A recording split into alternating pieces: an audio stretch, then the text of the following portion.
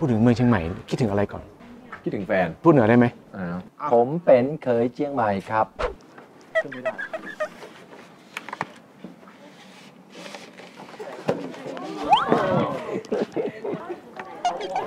ไม่เป็นไรครับไม่เป็นไรโอเคพี่มีฮีโร่ไหม คุณเคยดู Life is Beautiful ป่ะ โอ้ ขอบคุณครับนี่กินหมูย่างธนาธรไว้ยโอ้ กุศลโดนผีมาพบเจ้า ถ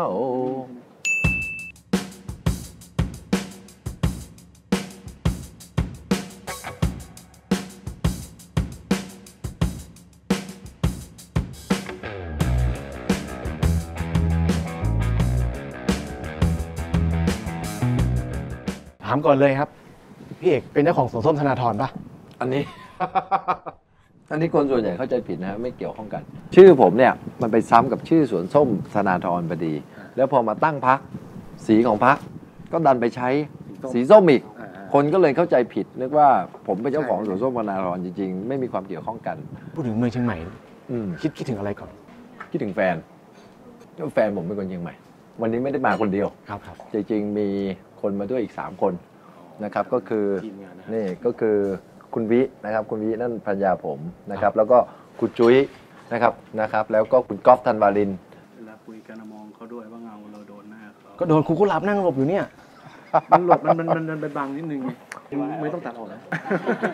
กินอาหารได้ทุกอย่างหรือเปล่าครับ ถ้าต้องเลือกก็คือง่ายและเร็ว มันเป็นความโหดร้ายของโลกของที่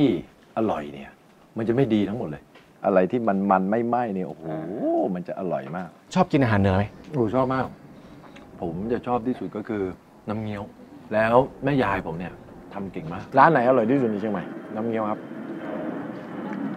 เออพูดในชีวิตเนี่ยถ้าพวกนี้ได้ไปตลาดเช้าอืมก็ไปลองกินที่ตลาด ร้านพวกนี้จะดีเจ้าอะใช่ดีดีกว่าร้านที่แบบแล้วร้านในเที่ยวตลาดนี่ใส่ผงชูรสปะนะก็ใส่อยู่แล้วครับใส่ไปแล้วโอเคโอ้ขอบคุณครับนี่กินหมูย่างธนาธรไว้ย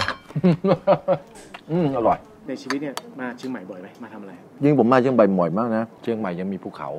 ครับ ผมเนี่ยเป็นคนชอบภูเขามากกว่าทะเลผมว่าภูเขามีเสน่ห์กว่า การอยู่กับ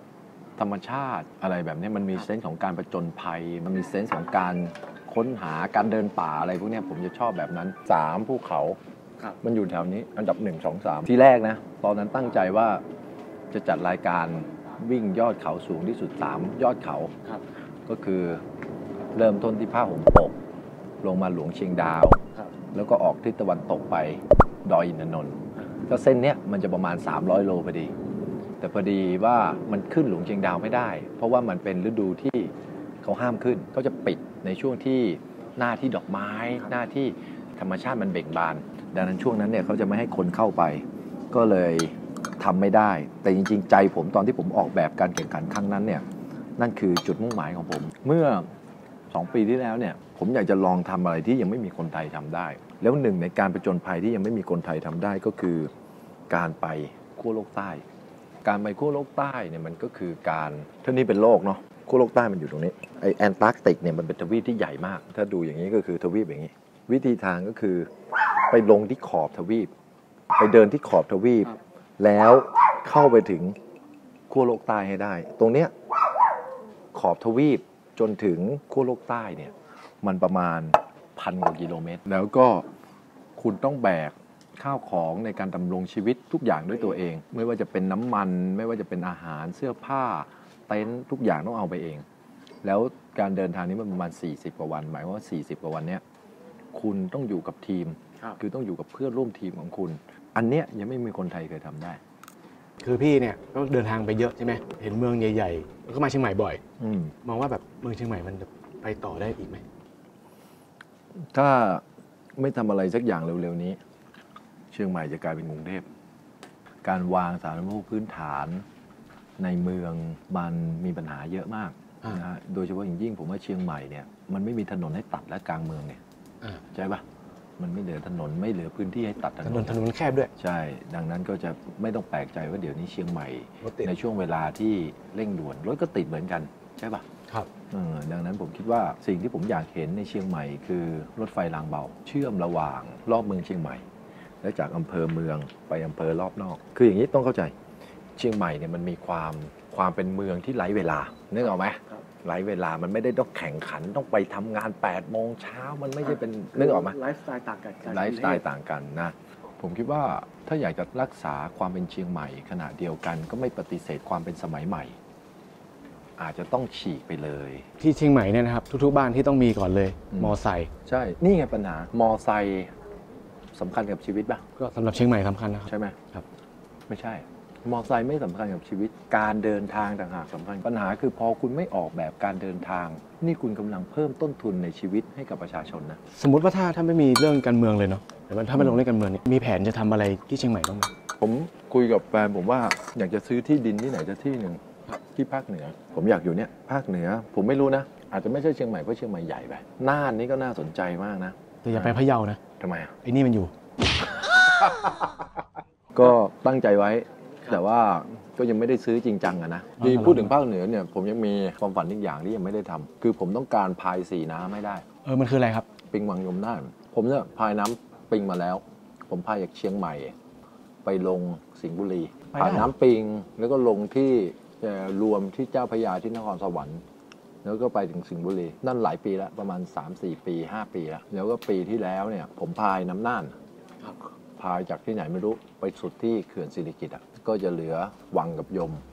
อีกสองแม่น้ำอีกสองแม่น้ำที่ผมยังไม่ได้กายักแฟนเพจเราสามารถก็เป็นวัยรุ่นนะครับฝากอะไรถึงเขาไหม สำหรับผมนะ ในครับวัยช่วงนั้นของผมเนี่ยเป็นวัยช่วงที่ผมทำงานหนักจริง ๆ ช่วงที่ตั้งแต่ผมคิดว่าวัยนี้เป็นวัยที่ล้มเหลวได้ อยากทำอะไรทำครับ อย่าให้เมื่อโตขึ้นไปแล้ว คุณเสียใจว่าทำไมวันนั้น คุณไม่ได้ทำยิ่งโตไปเรื่อยๆความกล้าเสี่ยง ความกล้าจะเดินไปในพรมแดนใหม่ ๆ ที่เรายังไม่เคยไป มันจะมีน้อยลง ครับ ดังนั้นถ้าอยู่ในช่วงนั้นมีอะไรอยากทำทำเลย ทำเลย อย่าคิดเยอะ พี่มันมีคำถามจากทางบ้าน พี่มีฮีโร่ไหม คุณเคยดู Life is Beautiful ปะถ้าผมเป็นพ่อผมอยากเป็นอย่างพ่อคนนั้นอะคือผมรู้สึกมันแจ๋วอะคือผมไม่รู้จะเล่าไง Life is Beautiful นี่เป็นหนึ่งในหนังเรื่องหนึ่งที่ผมร้องไห้นะ